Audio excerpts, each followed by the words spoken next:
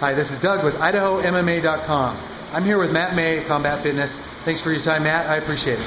Yeah, no problem. So, Matt, it's been a long time. I mean, you know, time flies when you're having fun.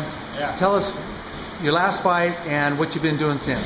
Uh, my last fight I fought Kerry Latimer, um, and uh, of course I beat him triangle, and then uh, I've just been being dad and working my butt off. That's all I've been doing, and uh, doing a lot of training, teaching, all that stuff. So never out of the game, never will be.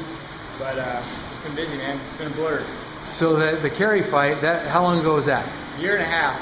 A year and a half. Yeah. He's Okay. been on quite the roll lately, so I'm, I'm good, happy for him. So. Yeah.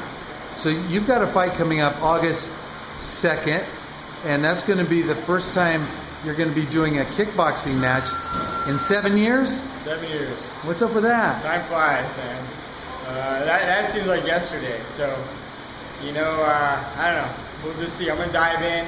Uh, you know, I feel, I truly believe, on my worst day, I'm better than most of these guys in the stand-up department on their best day. So, I'll be looking to prove that next Saturday. So.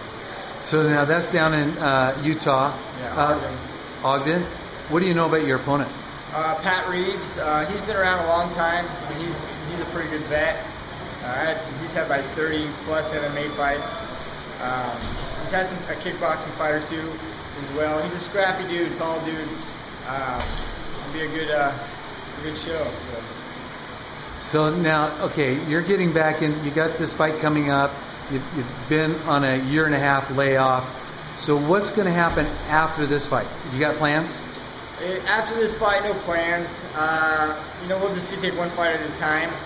Um, you know, we'll see, man. I just had a baby, a brand new baby.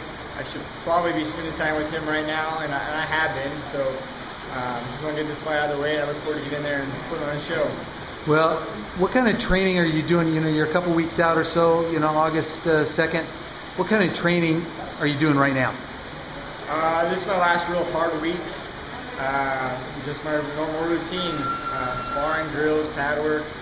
All, all I gotta focus on is punching, kicking, and getting punched and getting kicked. So it's nice. Right. Well, appreciate taking your time out of your training. You got any sponsors you'd like to thank out there? Anybody you'd like to thank?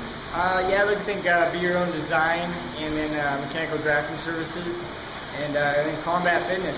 So, uh, you know, they're, they're, they're the team to be for sure.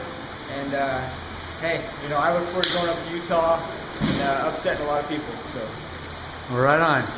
Matt, again, thank you. Appreciate it, and we'll talk to you soon. thank you.